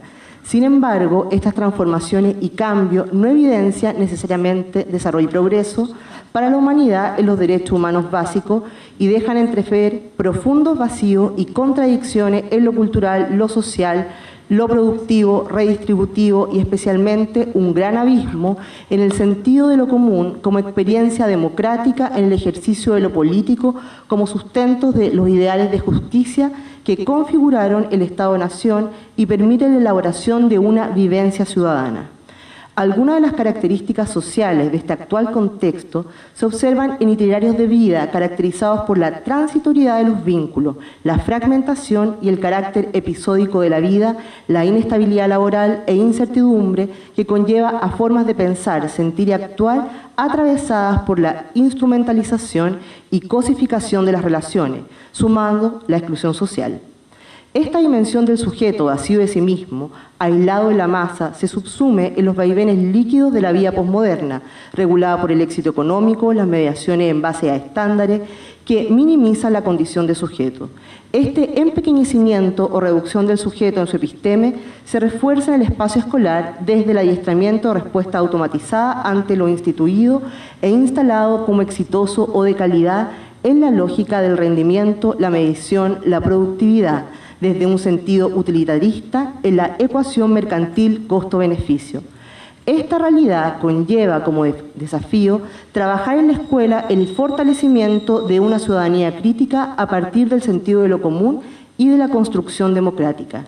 Este escenario de análisis en términos políticos, democráticos, de justicia y cohesión social es bastante más complejo de lo que quisiéramos ya que las confusiones y nebulosas teóricas de nuestros contextos se le suman itinerarios de vida capturados por el bucle Metro Trabajo TV Cama, es Castoriadi, en entornos mecanizados que corren bastante más rápido que nuestra reflexión para poder integrar las dimensiones que constituyen la experiencia democrática del humano en la comunidad. En los sistemas democráticos, donde las libertades adquieren un tenor de principio regulador de las relaciones interpersonales, Paradójicamente, el capital cívico y asociativo se encuentra debilitado en su conocimiento, valoración y ejercicio debido a múltiples factores, entre los cuales podemos mencionar el impacto que generó la caída de los socialismos reales en el descrédito de la utopía, la pérdida de espacios participativos en el marco de los gobiernos dictatoriales en América Latina y la consolidación de un sistema neoliberal como único referente interpretativo de la convivencia, sustentado en un individualismo excluyente que contribuye a generar una tensión permanente entre liberalismo y comunitarismo. Se agrega además, en el contexto globalizador, el desdibujamiento del Estado como un ente regulador y representativo de la ciudadanía al subordinar la política al poder hegemónico del mercado. De esta forma se configuran itinerarios que perpetúan una forma de vivir juntos sin estar juntos, restando la experiencia del sentido y la vivencia de lo común que requiere de vinculaciones, diálogos, valores, ideas y una morada que permita que la polis se haga expresión de la vida de unos sujetos que conforman una común unidad. A partir de los estudios de Marcel Moss y que Roberto Espósito refiere en su texto Comunitas, es posible hacer una lectura en que la comunidad se organice a partir de una experiencia particular donde lo común se configura desde una carencia de lo común. Esta definición de comunidad, a diferencia de aquella conceptualización clásica esencialista que la fija a sí misma y a los individuos que la conforman como una identidad cerrada, la, comunidad entendida desde expósito aloja la diferencia y la posibilidad de la alteridad. De este modo, la democracia se construye como práctica y no como modelo de gobierno o mero procedimiento. En la mayoría de los países latinoamericanos y de la comunidad europea, la importancia de la escuela como espacio de transmisión de valores, formación para la ciudadanía y lugar público institucionalizado en el que se debiera aprender a vivir en democracia, que nos conecta a la escuela como el lugar y espacio público de formación ciudadana. En la escuela, el sujeto ciudadano aprende el sentido de lo común, desde experiencias democráticas que surgen en la convivencia con otros y otras, situando al centro escolar como el canal que aterriza y concreta el componente ético-social en la formación integral de los estudiantes. Ante esto vale preguntarse, ¿de qué escuela estamos hablando? La escuela históricamente emerge como un privilegio de élite, que a partir de la configuración del Estado-Nación y su organización en instituciones para velar por la libertad, la igualdad y justicia, implicarán un proceso de construcción histórica de los Estados nacionales en el siglo XIX con un fin homogenizador y de masificación de los derechos y deberes ciudadanos. Instituciones como la cárcel, el ejército, la escuela, la iglesia, en fin, la vida cotidiana misma envuelta en servicio y responsabilidades sociales, se constituirá en objeto de orden, control, vigilancia como dispositivos del bienestar, reproducción o contradicción. Esto está en Foucault y voy a evitar todo el, el resto del texto que está en ese mismo registro. Hoy, hoy en día las mutaciones de la escuela se definen por la masificación del acceso, la diversificación de modalidades y niveles que jerarquizan el prestigio en función de la competencia por empleo y estudios superiores. Luego de recorrer más de dos siglos, la escuela requiere volver a preguntarse, ¿es la institución escolar un lugar de formación ciudadana, el seguro de justicia social y el camino al desarrollo pleno de los sujetos? Algunos de los resultados de investigaciones en el tema de ciudadanía y cohesión en la escuela evidencian una escuela homogénea atravesada por el panóptico de vigilancia, control y castigo. A esta estructura se le agrega una cultura escolar de relaciones asimétricas mediatizada por mecanismos de evaluación como control, medición y punición, generando un hábitus que muchas veces no permite configurar una red relacional de cohesión social construida desde la diversidad, la participación, la democracia necesaria para la formación ciudadana y la construcción de identidades, desde el ejercicio de la libertad de los sujetos. La vivencia de la democracia, emergente de la autonomía de los sujetos, la experiencia de lo común en acciones, sentido y políticas de participación, se aprenden o se silencian en la escuela. Una sociedad democrática vigorosa necesita desarrollar en sus miembros la idea que se trata de un proyecto común que se compromete en su construcción a todos y todas, pero la que también los que ya se fueron pusieron su parte y los que vendrán pondrán la suya.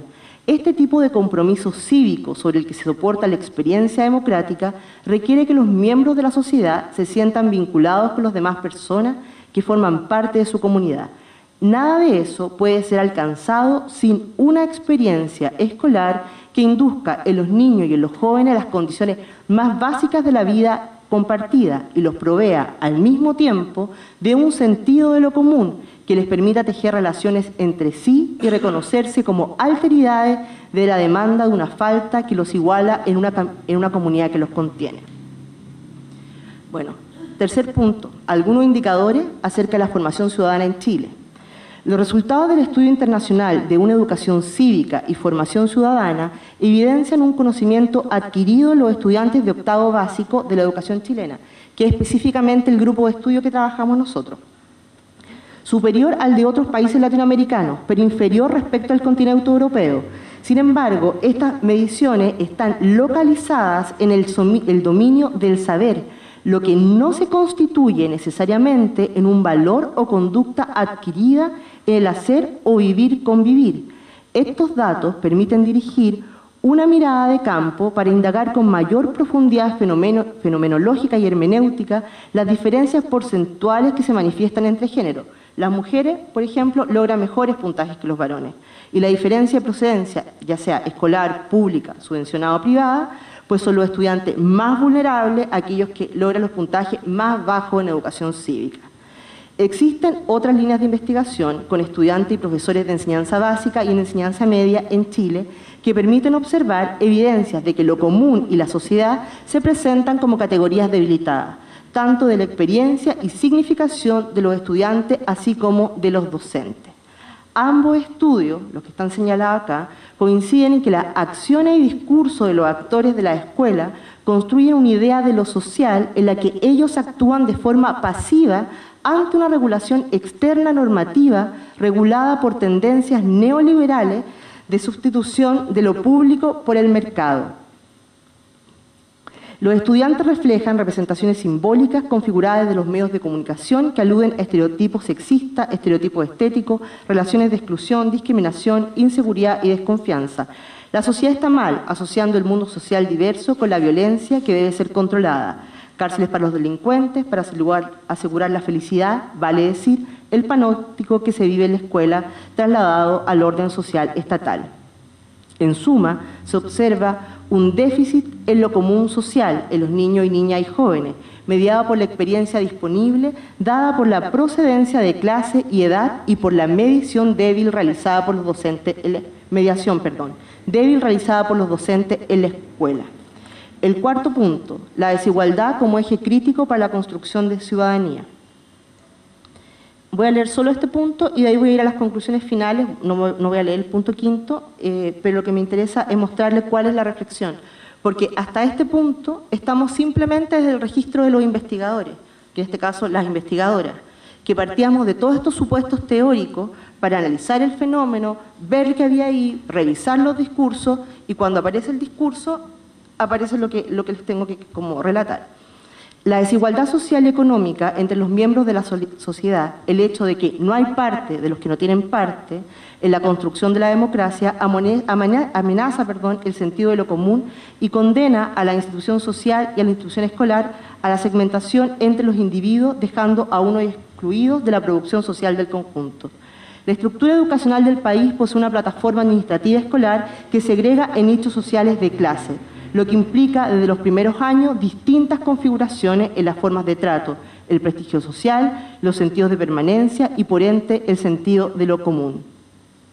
Los informes OCDE 2004, 2009 y la CEPAL 2010 indican que la desigualdad ha aumentado la pobreza se ve reforzada por una extrema desigualdad en la distribución del ingreso, producto de grandes desigualdades de origen, baja carga impositiva, pobre capacidad redistributiva de los estados sociales, mercados laborales y muy ineficientemente desigualdades que tienden a reforzar las desigualdades de origen, sean de clase, género, edad o etnia. Chile expone altos índices de segmentación social, especialmente dados por la estructura escolar. Por ello resulta relevante indagar en la experiencia democrática y sentido de lo común de aquellos sujetos que pertenecen a un sector de alta vulnerabilidad económica, que fue el grupo que, estudiamos. ¿Cómo experimentan el sentido de lo común o cómo experimentan la ciudadanía? ¿Qué niveles de pertenencia les cohesionan? ¿Existe algún tipo de red vincular, puente con otros grupos de diferentes capitales culturales sociales? Existe una variada discusión teórica que correlaciona la estadística de los resultados PISA y las características socioeconómicas de su familia. Un estudio de Castelli Ferrer, tomando datos PISA 2003, revisa la persistencia de variables fundamentalmente relacionadas con los centros de secundaria y sus características como tramo del sistema educativo, y el nivel socioeconómico y cultural de la familia, variables que determinan y explican la mayor parte de los resultados de los estudiantes. Dichos autores añaden variables de no menor importancia como la autoconfianza y las aspiraciones del alumnado. Esta evidencia estadística conduce a preguntarse por las características de la experiencia democrática en sectores vulnerables, que han aprendido que los derechos y las posibilidades están atrapados según la, según la condición social y económica, como bien lo investiga Katia Araujo en poblaciones marginales chilenas. Bueno, para resumir y terminar, Específicamente, todo esto nos llevaba a mostrar cómo la escuela actual se encuentra dentro de un fracaso. ¿Por qué? Porque la escuela, que era el lugar donde los estudiantes debían poder vivenciar la igualdad, es un lugar donde se vivencia la desigualdad. Ese registro eh, es el que estaba puesto en juego. Por lo tanto, la democratización de la escuela debiese ser el primer paso para romper con, esta, con este primero fracaso eh, de la escuela y por lo mismo con, con las estructuras de desigualdad. Sin embargo, y esto es lo relevante, y de ahí el título del texto, es que cuando entrevistamos a los jóvenes eh, de este segmento, de entre 12 y 15 años, de lugares vulnerables, donde sabemos que hay el tema de la reproducción y que además está el tema de cómo pesa la herencia de su, su registro, eh, nos encontramos que ellos se saben discriminados, ellos se saben segmentados, pero no se reconocen como pobres. Entonces, mi actual pregunta de investigación eh, consiste en esta negación identitaria de la pobreza y qué implicancias políticas va a tener que los jóvenes, en particular, no tengan una relación con su clase y cómo esto puede ser leído políticamente. Entonces, pareciera que la, la, caída de la igualdad pasa justamente por este registro donde no se reconoce como una clase a la que pertenece. Así puedo resumir de la forma más rápida todo lo que faltaba.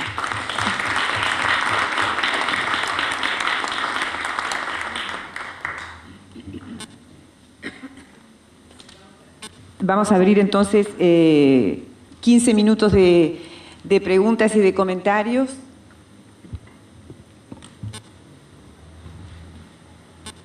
Yo quisiera agradecerle al embajador Rodríguez por haber eh, dicho que cuando se trata de personas no es una cuestión cuantitativa y que esto de minorías es ya de entrada un abuso conceptual y, un, y un racismo eh, ideológico. Quiero hacerle eh, dos preguntas. La primera, ¿qué piensa usted del hombre meridional? Que es la propuesta de Simón Bolívar en la Carta de Jamaica para evitar eh, las paradojas conceptuales que lo llevarían a hacer una propuesta colectiva de pensamiento político que fuese únicamente dentro del punto de vista del indio, del blanco español o del el negro africano. Y dice, hay una construcción que tenemos que hacer y que sería la del hombre meridional para América. La segunda pregunta es, ¿qué piensa usted de la propuesta de Edouard Glissant sobre la creolidad? la, creolité, que es también una reflexión profunda para darnos a ver la participación colectiva de una eh, diversidad cultural constitutiva de, una, de un aporte a, a lo que podría ser eh, la, el, el, el, mesticismo del, del, del nuevo mundo.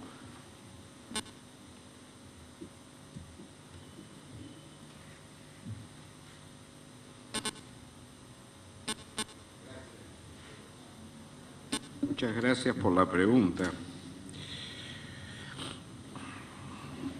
Yo creo que cuando Bolívar planteaba lo meridional, yo creo que es el proceso que se está dando hoy en América Latina. Hay una conjunción de identidades culturales que está construyendo una perspectiva eh, nueva en nuestras regiones, que a mi forma de ver el aporte del mestizaje no es bien aceptado en algunos círculos académicos. Recordemos lo que Aimé Ser hablaba sobre eso, o el mismo Fan. Recordemos eso.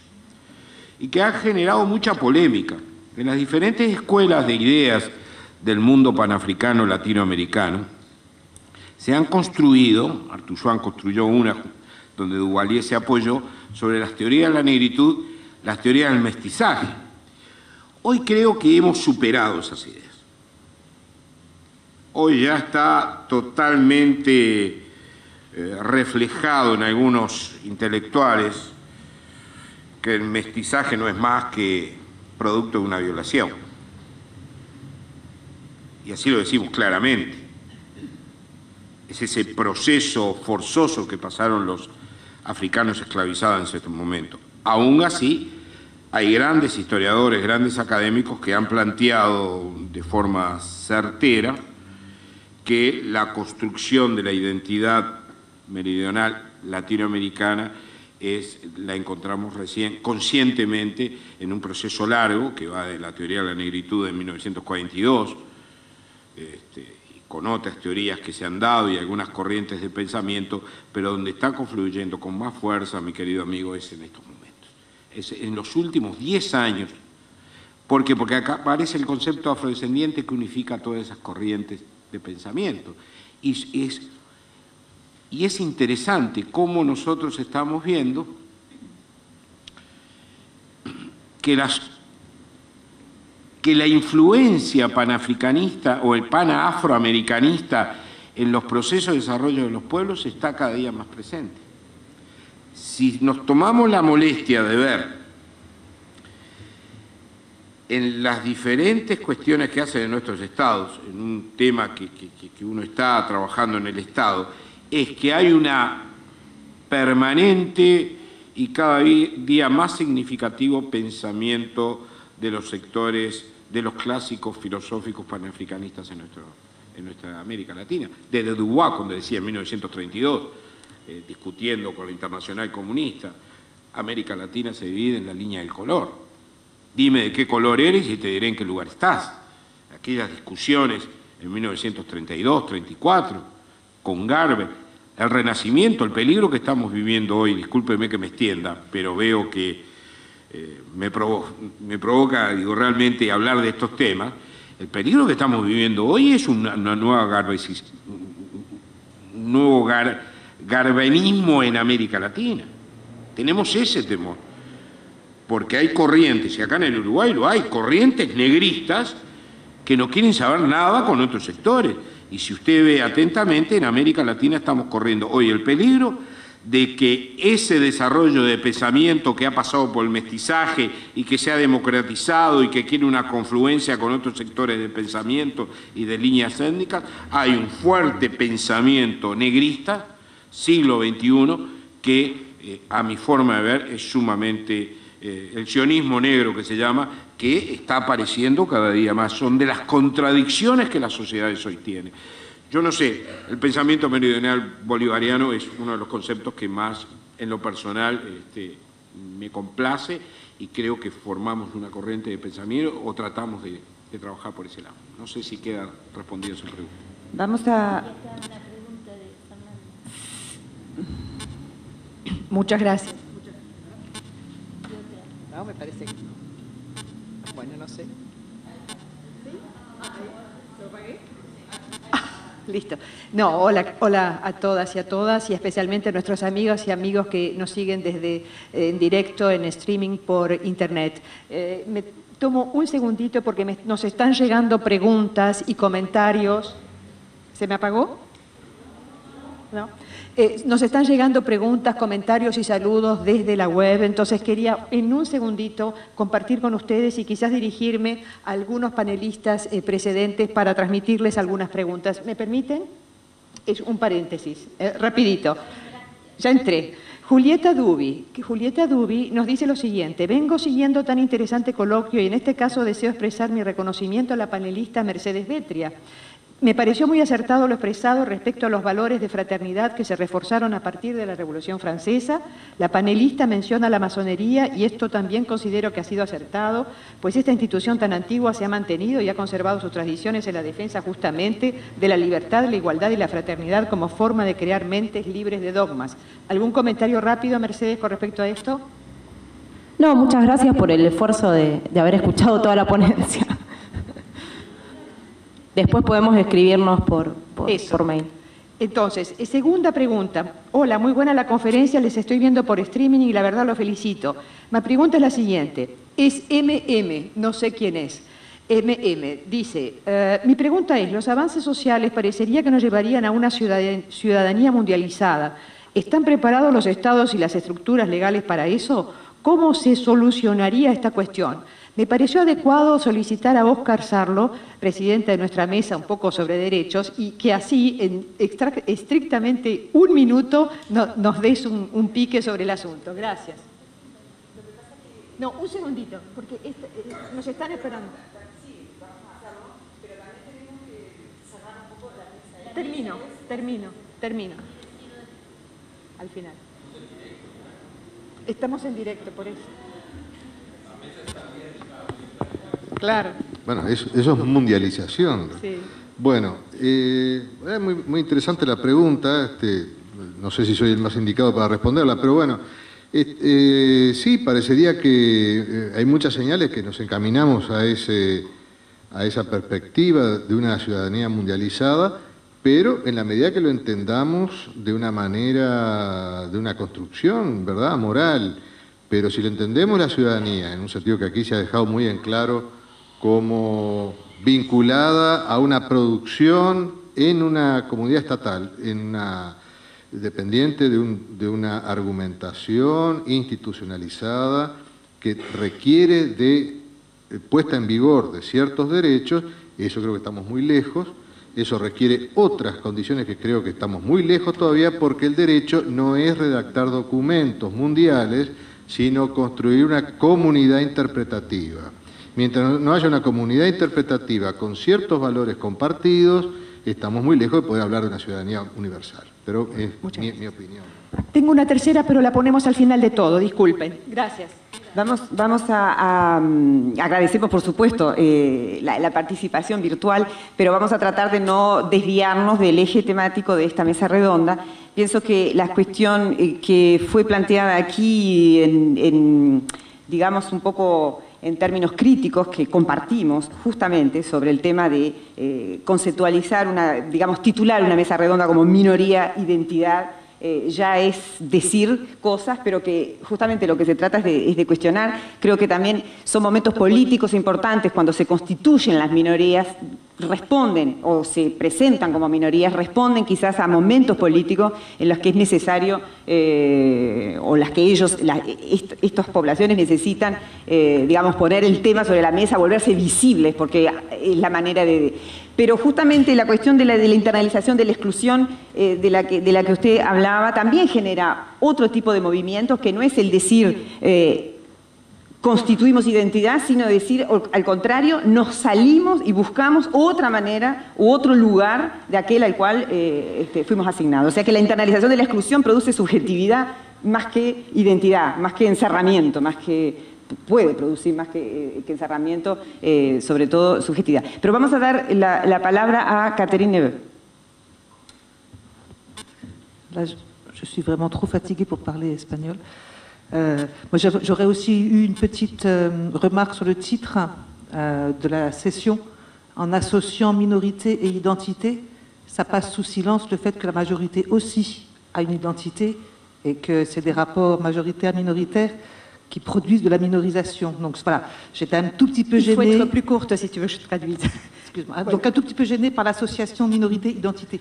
Una, una, una, simplemente una observación, me, mm, me produjo una dificultad la asociación entre minoría y, e identidad, porque creo que la mayoría también tiene una identidad.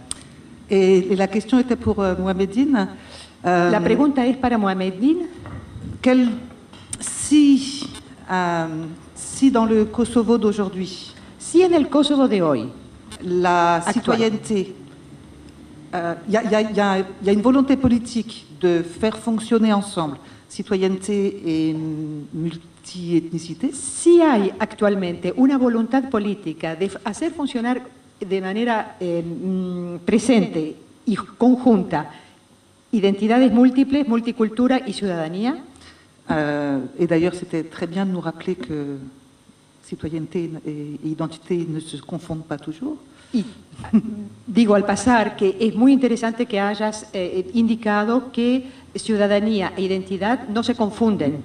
Et donc, quelle, serait la différence entre cette manière, cette volonté politique-là et celle de, de la Yougoslavie Bueno, Qui ¿cuál- était aussi une manière de faire fonctionner ensemble citoyenneté et multiplicité? ¿Qué, qué diferencia habría entre efectivamente la manera de concebir las cosas del Kosovo y de eh, Yugoslavia? Comme vous avez remarqué que j'ai dû euh, faire bref et que, à un moment, j'ai signalé que dans la deuxième Yougoslavie, il y avait une expérience, une présence aux instances, par exemple fédérales, de la diversité des langues, et que cette diversité des langues était reconnue institutionnellement. Il y avait des pratiques, y compris au Kosovo. Vous devez traduire.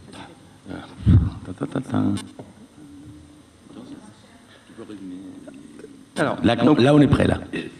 Même brièvement, j'ai signalé que dans la deuxième Yougoslavie, à la différence de la première, que en la segunda Yugoslavia, a la diferencia de la primera, il y avait non seulement une reconnaissance officielle de Había- la diversité culturelle et des langues, había un, un reconocimiento oficial, oficial de las lenguas y la diversidad de las lenguas. mais il y avait des pratiques, Había prácticas también, y compris dans toutes les unités de la fédération, En- y compris au Kosovo. en todas las unidades de la federación, incluso en el Kosovo, L'université dans laquelle j'ai enseigné en la universidad en la cual yo he enseñado, était une université où les enseignants étaient serbo-albanais, había este, profesores serbos o albaneses. faisaient un collectif, mais Y- ils faisaient des cours soit dans une langue, soit dans une autre. Era un colectivo, pero que eh, mm, eh, proponían sus cursos, daban sus cursos en una lengua o en la otra. Au Parlement fédéral, les députés du Kosovo pouvaient parler en albanais, comme les députés slovènes le parlaient en slovène.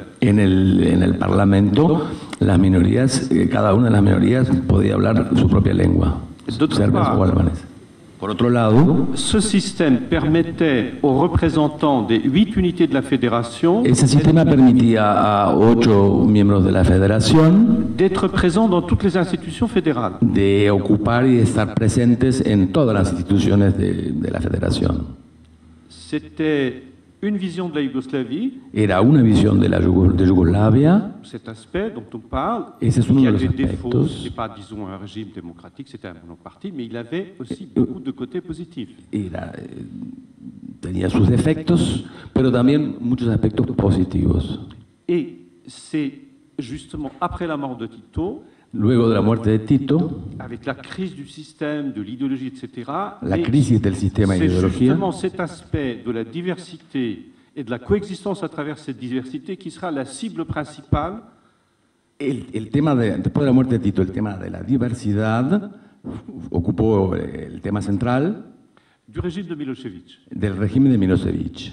En 89, En, 1989, en 89, Kosovo, en Kosovo en 89, où il y aura la célébration du six siècles de la bataille du Kosovo, en el 89 en el cual se celebraron los seis siglos de la batalla de Kosovo, il va dire c'est ici justement passé la plus grande trahison. va decir, va afirmar que fue allí donde ocurrió la más grande, la traición más grande, et la politique de Tito sera attaquée justement comme une politique contre les intérêts du peuple serbe. Y la política que había desarrollado Tito va a ser atacada como una política contra los serbios. Brièvement, vous connaissez le reste, euh, il y aura quatre agressions militaires Hubieron después cuatro agresiones Eslovenia, sur la militares Croacia, en Eslovenia, en Croacia eh, y en Kosovo, me faltaba uno, comme conséquence de cette autre vision, fruto de esa otra visión. Parce que cette deuxième Yougoslavie était effectivement perçue Porque esa segunda Yugoslavia estaba percibida, era, fue percibida como algo contrario. Et d'où malheureusement toutes ces conséquences après qui, euh, qui sont issues euh, et qui ont amené euh, euh, où le divorce Tchécoslovaquie, Tchéquie-Slovaquie s'est passé de façon pacifique, Eh, Por otro lado, el divorcio de la ex Checoslovaquia se, se desarrolló de otra manera. le problème en Yougoslavie malheureusement que ça a été passé de façon très violente. Lamentablemente, la ex Yugoslavia, eh, como todos sabemos, fue muy violento.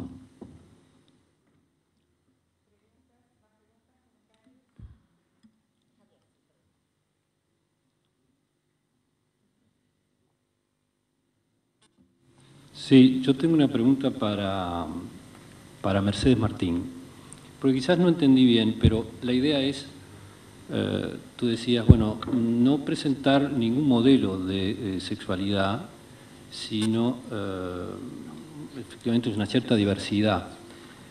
Y, yo interpreto eso en un sentido de una especie de neutralidad con respecto al tema de la sexualidad o de las opciones o de las orientaciones sexuales. Neutralidad que me suena de tipo liberal, por decirlo de alguna manera. No, una idea liberal en el sentido de que existen muchos modelos, muchas opciones y por lo tanto eso corre por cuenta de cada uno. Y me pregunto si eso eh, no es en el fondo, de alguna manera, ir en una cierta dirección, que es efectivamente la dirección liberal, la, la, dirección de una neutralidad en temas de opciones que tengan que ver con eh, valores, creencias o, o formas de vida. Y la pregunta es si efectivamente no hay allí un problema eh, en el sentido de que eh, estas eh, opciones tienen que ver con identidades y tienen que ver con formas de vida que reclaman de alguna manera una identidad positiva y una visibilidad que de alguna manera reivindique eso no como una especie de mercado de opciones, sino como opciones que pretenden tener su reconocimiento público digno genuino. Entonces, ¿cómo se puede, eh, cómo ven ustedes el tema de ir por el, por el lado de una especie de oferta neutral, una especie de tratamiento neutral de una oferta variada en estos temas, o la, yo diría, en términos de filosofía política, un modelo más aristotélico, ¿no? Es decir, algo que de alguna manera reivindique las identidades de una manera activa, con su publicidad, con su, eh, de alguna manera, expresión de formas de vida alternativa y que permiten, entre otras cosas, contrastarse, confrontarse como tales. Hola. Sí, es interesante el planteo. Este, igual el problema es como que está cargado de mucha cuestión, ¿no?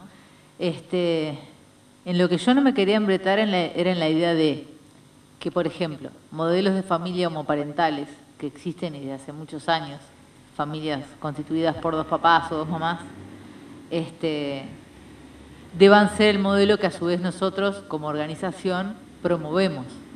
Porque, por ejemplo, me resulta más fácil responder con ejemplos. Si nosotros pasamos documentales sobre la vida de este tipo de familias o sobre matrimonio, eh, parejas de dos hombres o dos mujeres que contraen matrimonio, no estamos promoviendo que las personas homosexuales se casen en ese sentido, no promovemos modelos. Lo que promovemos es esto de reconocimiento de identidades que además existen. Hay un proceso de invisibilización. Yo creo que el reconocimiento, por eso decía hoy, que legitima y esto sí que genera subjetividad. Porque a la persona no solo le permite sentirse bien con su psique, digamos, porque también esto parte de una premisa que yo estoy dando por sentada, capaz, ¿no? Cuando yo hablaba de la heteronormatividad, me refería a que vivimos en una sociedad organizada de forma tal que se presume que todos vamos a ser, e-, esto está conceptualizado y hay muchos autores que han escrito sobre esto, pero se presume que todos vamos a ser heterosexuales, vamos a querer constituir un tipo de familia, incluso si somos heterosexuales vamos a querer tener hijos cuando hay parejas que no lo desean. Todas esas presunciones hacen que las personas que no se sienten identificadas con esos modos de vida hegemónicos este, no encuentren una manera de sentirse bien y de sentirse integradas. Entonces, eh, yo no sé si es una idea liberal, me parece que, esto tiene que ver como con la libertad, ¿no? Este, no sería generar libertad promover desde una organización que tiene que ver con la diversidad sexual por volver al ejemplo de hoy, promover que la gente se case. Porque nosotros no queremos promover eso ni lo contrario. Lo que queremos promover es la igualdad de derechos y que sean las personas las que decidan si quieren casarse o no quieren casarse. Este, no sé si estoy respondiendo cabalmente a la pregunta.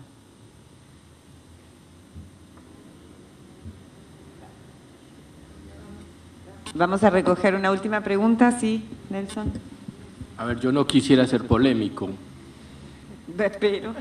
No, no quiero ser polémico. Y además no es la hora. pero, pero me, me interpela y me suena difícil que el modelo de, de casarse y tener hijos sea un modelo hegemónico, porque la experiencia que yo he hecho y que me cayó, porque en realidad eso le cae a uno, es de una extrema diversidad y complejidad tener hijos y asumir la construcción de una vida de pareja.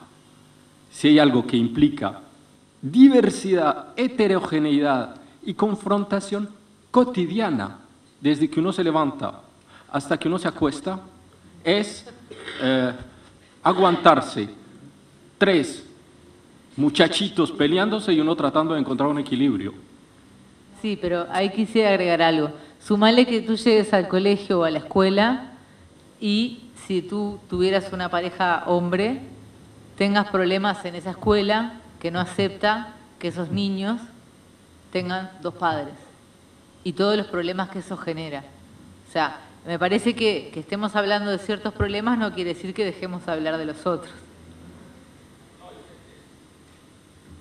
Es el encerramiento conceptual que consiste en decir que hay un principio hegemónico en casarse y tener hijos. Y yo creo que no hay ningún principio hegemónico. No, no, es que yo no estaba Eh, diciendo Era eso. eso. eh, Eh, sí. Sí, bueno, eh, vamos, vamos, a, vamos a, ir, cerrando esta mesa redonda. Eh, pienso que mm, si, si algo pudiéramos, no sé, es por lo menos mi, mi- mi proyecto, un poco quizás utópico, si algo pudiéramos pensar en el futuro como principio máximo, donde la cuestión de la, de la, de la identidad, de la visibilidad, de la puesta en, en- el espacio público de todo, de los diferentes modos de vidas posibles, sería el hecho de que pudiéramos permitirnos reivindicar el derecho a la indiferencia. Hoy estamos en el momento en que estamos eh, todavía eh, trabajando el tema de la identidad de la minoridad, de la diferencia, porque no hay lugar para lo diverso. Pero el día que las sociedades sean verdaderamente inclusivas, tendríamos que poder vivir, pasar desapercibidos, volvernos invisibles, no tener que estar diciendo a cada momento soy sordo, necesito de lengua de señas, o me quiero casar con una mujer y soy mujer, y etcétera, etcétera, etcétera. O sea que también yo creo que ese sería eh, el momento en que una mesa redonda no se llamaría más minoridad, identidad, etcétera, eh, sino que eh, podríamos pasar a una sociedad en la que lo diverso y lo singular está tan bien incluido, tan bien comprendido, tan bien eh, ubicado y que cada uno tiene un verdadero lugar que podemos pagarnos el lujo, diría yo, de volvernos invisibles. Así que yo trabajo por el derecho a la indiferencia, pero decirlo es un poco peligroso porque los momentos, en estos momentos políticos y sociales de nuestras sociedades en las que los excluidos son gravemente excluidos, y eso tiene consecuencias eh, nefastas en la vida de la gente, eh, reivindicar un derecho a la indiferencia es como un abuso, ¿no? Pero pienso Es que en una- un proyecto... Es una omisión, como decía. Claro, pienso que en un proyecto futuro, eh, y espero que no sea utópico, eh, po- podríamos, tendríamos que aspirar a una sociedad en la que, eh, bueno, pudiéramos ser invisibles, pagarnos ese derecho. Eh, Eh, Sonia va a decir una cosita, luego Fernanda va a darle la palabra a, a nuestros este, participantes virtuales, y lo que proponíamos es de pronto hacer un cambio de lugar en las mesas, pero no hacer pausa y pasar directamente a, a- a las palabras finales del profesor Patrice Vermeren, eh, sin, sin dispersarnos y hacer, este, bueno, eh, aprovechar este momento que estamos todos juntos y cerrar la jornada de hoy de esta manera. Eh, bien, yo quería decir que mm, estoy muy complacida y muy agradecida a los participantes de la mesa porque plantearon desde el tema de la nación, de la etnicidad, de la fragmentación, de la construcción de nuevas eh, identidades dentro de un pequeño país tan diverso como el Kosovo, eh, el, tema de la diversidad sexual con toda la, la- toda la complejidad que eso implica y tenía tal vez la idea de preguntar, pero ya no hay mucho tiempo, que si la laicidad propia del Uruguay facilita un poco las cosas, pero déjalo de lado. También agradecerle a Romero Rodríguez ese, es- esa claridad con la que ex- expuso el problema de la discriminación y de la construcción y de la afirmación dentro del escenario nacional. Y también a Pamela Soto por traer ese, ese trabajo que no, no hubo tiempo de verlo lo suficiente, pero que es muy, muy significativo. ¿Qué significa eso de renegar la, eh, la, condición de pobre? Es decir, es algo que puede parecer que salta a la vista y sin embargo no, porque hay todo un bagaje de mensajes mm, eh, ideológicos, de propaganda, etcétera, que de pronto están ahí interfiriendo. Entonces me parece que, que la mesa cubrió distintos planos de la, de la diversidad y de las posibilidades de hacer cruces en este tema de las minorías, entre comillas, cuestionadas y que tal vez no tengamos más que nombrarlas como tales. Entonces, gracias.